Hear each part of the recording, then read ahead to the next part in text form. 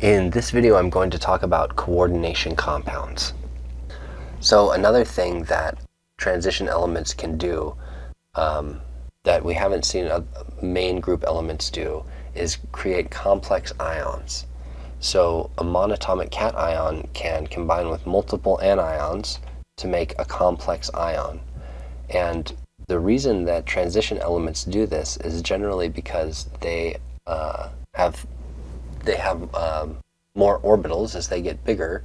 So they have d orbitals. They have electrons in d orbitals, and these electrons in d orbitals can uh, create different kinds of bonds than um, than we've seen so far. So the when we look at a, a, metal ion in the middle, a transition element in the middle, the attached anions that are attached to that transition element are called ligands. And the charge on the complex ion, we have to determine what that charge is by thinking about the contribution from every element that's in the complex.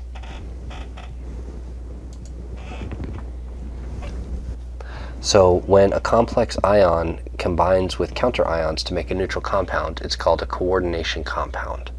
So this is an example of a formula, a chemical formula of a coordination compound. So cobalt is a transition metal, and this transition metal is in some oxidation state that we're going to have to uh, determine the oxidation state by looking at the contributions of the other elements that are in the formula. um, and there are groups that are attached to the middle ion. In this case, there are six molecules of water, H2O, that are attached to the middle ion. And we also see that outside of the brackets, there are three chloride ions. So um, the we think there are a lot there's lots of information when we're looking at a coordination complex. We can think about the primary valence, which is the oxidation number of the metal. We have to determine what's the oxidation number of this metal. And again, we have to do that because transition metals have so many possible oxidation states that we don't know exactly what oxidation state it's in in that compound until we look at what it's attached to. And the secondary valence in a coordination compound is the number of ligands bonded to the metal. So in this case, um, I see that there are three chloride anions on the outside of the bracket. So we've seen chloride before, and we know that Cl has a minus one charge. So if I have three Cl's, then on the outside of the brackets I have a minus three charge. So that means that what's on the inside of the brackets must be a plus 3 charge. Minus 3, plus 3, and the whole compound is neutral. We don't see a charge written on the compound here, so that, that indicates it's neutral. So H2O is a neutral molecule. H2O itself doesn't have a charge. So if it's minus 3 on the outside, and it's plus 3 in the brackets, and the H2O is not contributing anything to that charge, being neutral, then the plus 3 charge is coming from cobalt.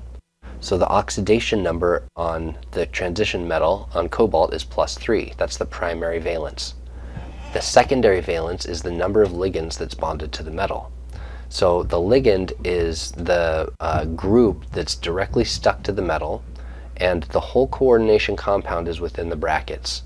So anything that appears outside the brackets is not a ligand. Only, ligands only appear inside the brackets. So in this case, if this is the central coordinating ion. Then this is the ligand, H2O, and there are six of them. And we call this the secondary valence, or more often we call this the coordination number. So the number of ligands that transition elements can be stuck to generally ranges from 2 to 12, and we usually see 6 and 4. Most compounds usually have 6 or 4 ligands here inside the brackets. So here's an example of what that looks like. Here's cobalt, these are, this isn't H2O, but these are NH3 molecules. And so cobalt has a plus 3 oxidation state, and it's making these bonds to uh, NH3. So these are called coordination bonds. And a coordination bond is different than a uh, uh, than a regular covalent bond because a coordination bond, both of the electrons in the bond are being donated by the ligand. So cobalt doesn't have any electrons to donate. It's cobalt 3 plus. That means it's already lost electrons, 3 plus. It doesn't have any more electrons to donate. It's not going to make a covalent bond. We generally don't see uh, metal ions making covalent bonds. They make ionic bonds. They have a positive charge. They're going to be attracted to things that have a negative charge. So this is different than what we've seen before, where the metal, a metal is making a covalent bond. And the reason that a metal is making a covalent bond is because the ligands themselves can donate their electrons. Remember, nitrogen has a lone pair of electrons, and it can donate its lone pair of electrons to a central metal ion because the electrons on nitrogen are actually more stable when they're sitting in an orbital on cobalt than they are when they're sitting on an orbital on the NH3. So all these NH3s say, oh, we, there's a place where we can sit our electrons, make them more stable, we can rest for a while. So they all uh, rest their electrons in orbitals on the cobalt 3 plus, and we create this coordination complex, this complex ion. So in these coordination bonds, they are covalent bonds, but that consist of two electrons, just like a regular covalent bond, but both of the electrons are being donated by the ligand. And if, the, if NH3 is a neutral molecule, which means it doesn't have a charge, and the cobalt is in the 3 plus oxidation state, then that means the charge on this whole complex is, is plus 3. And if this is a plus 3 and I always have to balance the charge, then a plus 3 attracts 3 minuses. So this compound here with a plus 3 charge needs 1, 2, 3 counter ions that are negative to balance its charge. So in solution, these things are going to be floating around in solution, and right next to them are going to be three chloride ions to balance the 3 plus charge.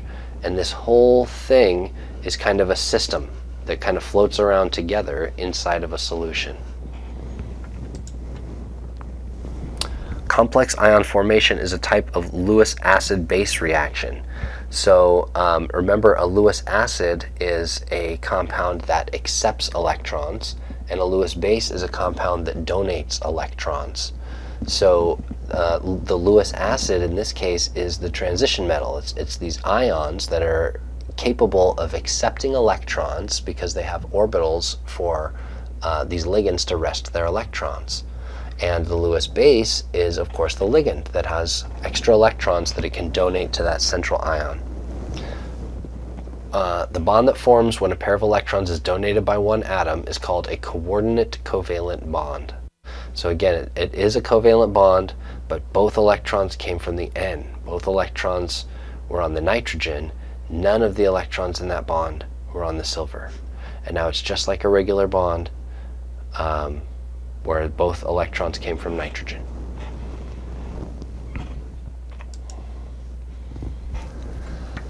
So um, a lot of the ligands like H2O or NH3 or Cl- they can bond, make one bond with the central metal atom.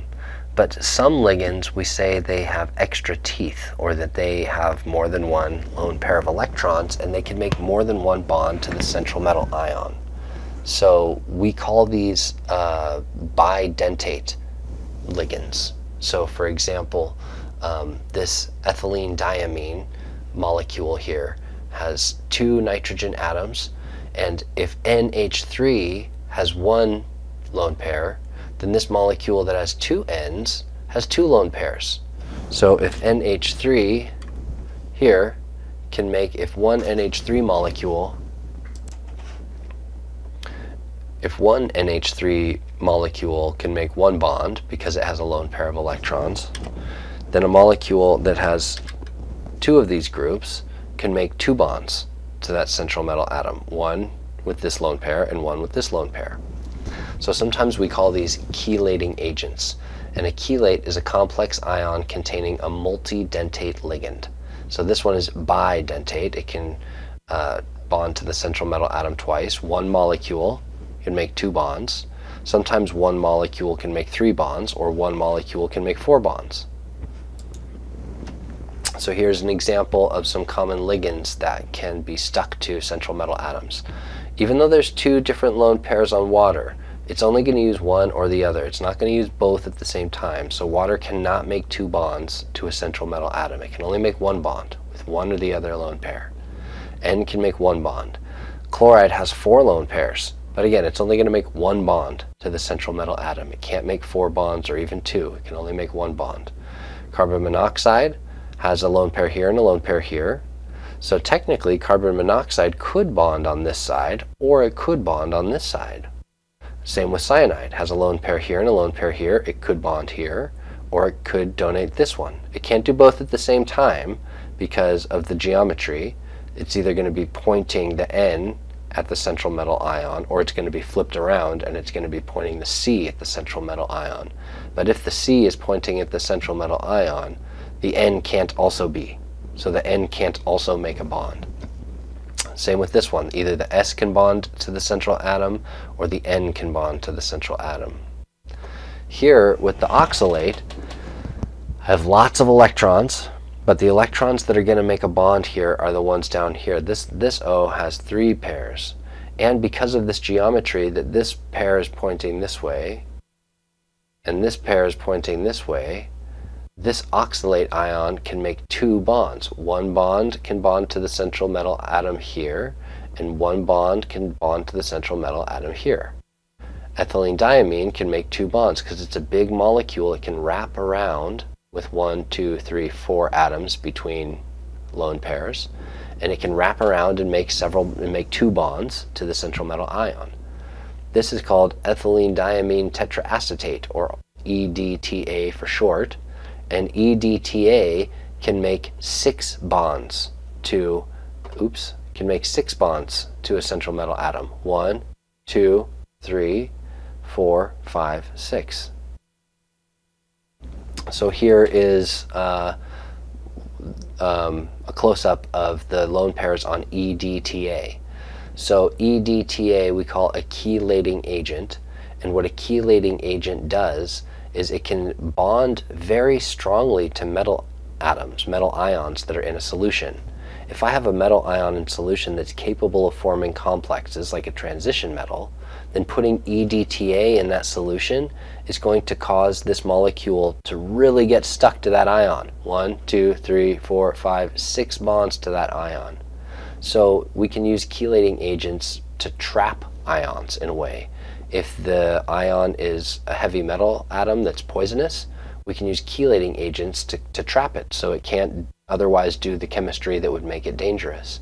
Um, if we need to dissolve something and the metal ions are really insoluble and they're stuck to their anions, the cation and the anion are stuck together so we have an insoluble uh, salt, I can add chelating agents which will grab the cation. It has one, two, three, four, five, six places to grab that cation and pull it away from the anion, which will help the compound dissolve. So chelating agents are really useful for many different applications. And what they do is they trap cations. They trap ions that are capable of making complexes. Here is, um, let's see, which one is this? This is ethylene diamine. So here's cobalt 3 plus in the middle, and here is one molecule of ethylene diamine.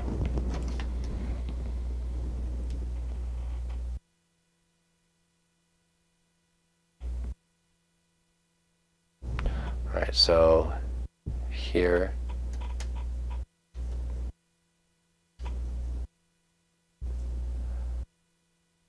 that's one molecule bonded twice. You can see here's one of the uh, lone pairs on N is making this bond to cobalt, and this lone pair on N is making this bond to cobalt, and they're stuck to these carbon atoms, which helps the molecule to bend around so it can bond this uh, central metal atom.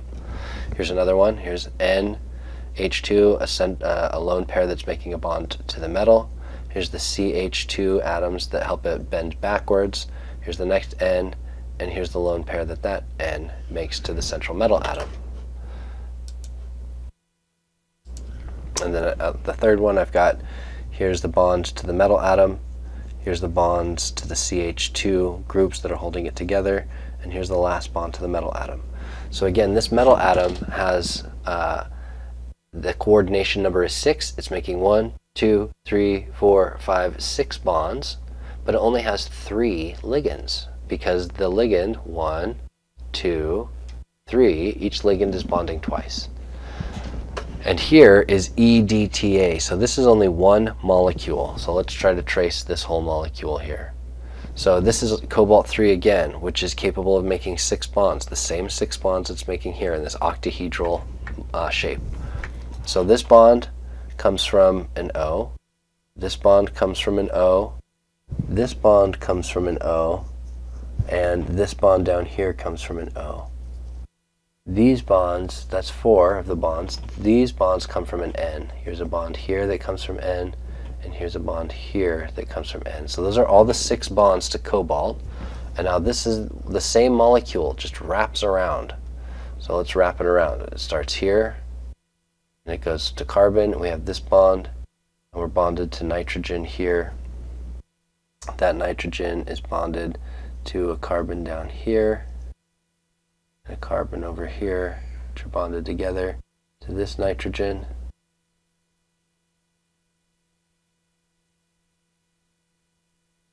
Which is bonded to this carbon here, which is bonded to this carbon, which is bonded to, where's this one? Oh, I see this nitrogen here is also bonded to this carbon, and to this carbon, and to this oxygen. these guys kind of bend around backwards like this. So this is all one giant molecule, one molecule that's bonded to this ion six times, made six different bonds to this molecule.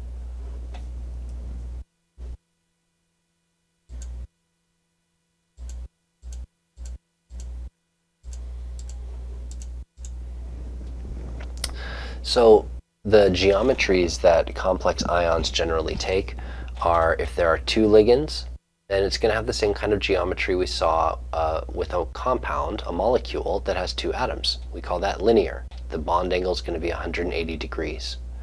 If there are four ligands, uh, we saw these two geometries before.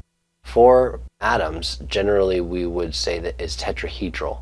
Um, and if I have four ligands stuck to a central metal ion, we, it has the same tetrahedral geometry where all of these bond angles are 109.5 degrees. Um, but sometimes we can get a situation where four ligands is actually going to result in a square planar complex uh, where the bond angles are actually 90 degrees apart. Right? And we have nothing on the top and nothing on the bottom. So we'll look at the situations where we can determine if I have four ligands, how do I know if it's going to be this shape or this shape? Well, it has to do with the metal ion, and we'll look at the electron configuration that causes a square planar geometry. So two ligands is always linear. Four ligands can either be 90 degree square planar or 109.5 degree tetrahedral. Six ligands is always octahedral. And remember, octahedral has all of these bonds are 90 degrees because this is kind of like a x, y, and z coordinate system, all perpendicular lines.